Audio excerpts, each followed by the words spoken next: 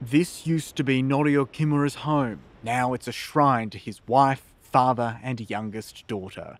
They all died 10 years ago when a powerful earthquake and tsunami devastated this region. He still fears what will happen to this area, which he now believes is sacred ground. Long after authorities gave up, Norio Kimura kept searching for the remains of his seven year old daughter Yuna. When reactors at the nearby Fukushima nuclear plant exploded, rescue teams couldn't continue combing this area because it was too dangerous.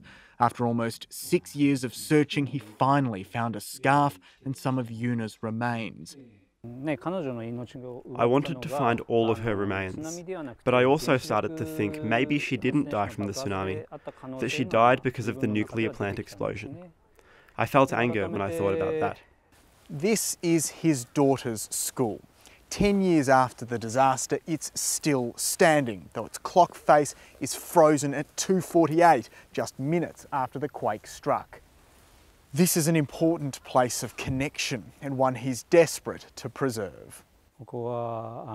This is where I can feel she was alive. I want this place to be kept. It's the school closest to the plant and must be kept so people realise we're living in a world where nuclear disasters can happen and ask if it's worth the risk. But the future of the school and his daughter's resting place nearby is unclear because of dirt piling up from the decontamination process.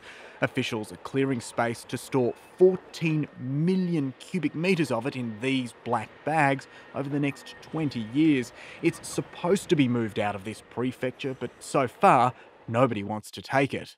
I understand the frustration and distrust of residents very well. I also know that the final disposal is a very difficult task, but we've signed contracts with 2,000 people to make this interim storage site. I think we should definitely not forget about those people. Across the region, more than 2,000 people thought to have died in the tragedy have never been found. Norio Kimura's daughter Yuna was the last person in her town to be taken off the missing list. He wants to make sure she and thousands like her are never forgotten. Jake Sturmer, ABC News, Okuma.